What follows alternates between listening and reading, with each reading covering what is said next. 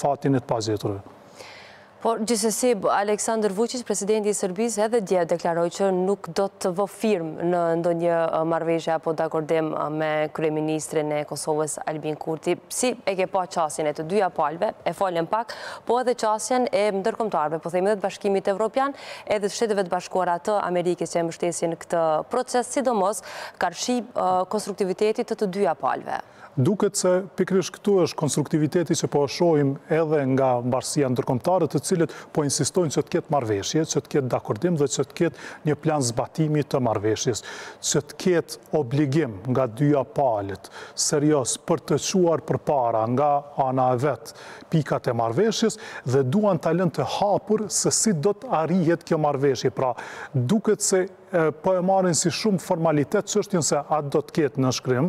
a do të ketë parafim, pra iniciale, apo do të ketë një duarshtrëngim, do të ketë një deklaratë të përbashkët. Kjo është vënë në një farë forme në plan të dytë, edhe në takimet që po i përmend, pra edhe me diplomatë, të Quintit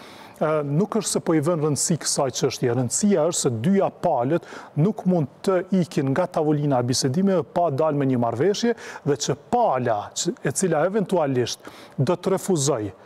të jetë pjesë e marrëveshjes, atëherë do të përballet me sanksione. Ajo që Po ashtu duhet insistuar është çka nëse një palë është konstruktive dhe tjetra jo, a do të merren sanksionet për dyja palët dhe këtu do duhej besoj që diskutuar, por ne i kemi parë edhe sot deklarata të dy krerëve të shtetit, edhe zonjës Osmani edhe zotit Kurti, të cilët kanë thënë se ata janë pozitivë drejt asaj që pritet të ndodhë nesër dhe janë të gatshëm që të jenë konstruktivë për të pranuar një plan. Dhe duhet kuptuar dhe s'është që po them diçka të re, që plani që kemi në tryezë dhe i cili është pranuar nga pala kosovare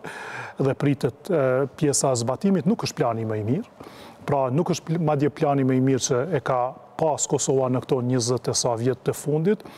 Absolutisht nuk ka njohje de jure dhe ne jo vetëm për këto njëzet vjet, por që nga vitet e nëntëdhjeta kemi luftuar që një ditë të kemi njohje nga Serbia, por është një marrëveshje e domosdoshme. Pse e them këtë? Se ne kemi vrejtur se kohëve të fundit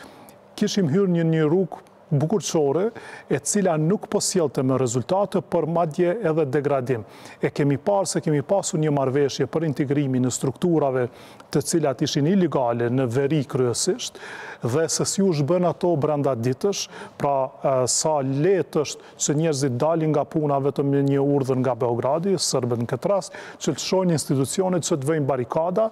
dhe Kjo e tregoi edhe brishtësinë e marrëveshjeve të deritashme. Pse? Se Beogradi nuk dëshiron që të jetë konstruktiv dhe këtu është insistimi në kontekstin e një lufte të madhe siç është ajo Rusi-Ukrainë, është çështja e sigurisë dhe Evropa, siç e kemi parë, nuk e ka luksin që të lejojë që të ketë hapësirë për çfarëdo lloj konflikti, qoftë ai i vogël ose pak më i madh, edhe në një pjesë të Evropës. Dhe me të drejtë kanë insistuar shtetet e Perëndimit në krye me Shtetet e Bashkuara të Amerikës se ajo palë e cila nuk është për një marrëveshje që do të përjashtonte mundësitë e një konflikti dhe e cila pastaj do të krijonte hapësirën për një marrëveshje përfundimtare, ku të dyja shtetet do ta njihnin njëra-tjetrën, atëherë po rreshtohet me anën jo të mirë të këtij konflikti me Rusinë. Dhe për këtë arsye unë besoj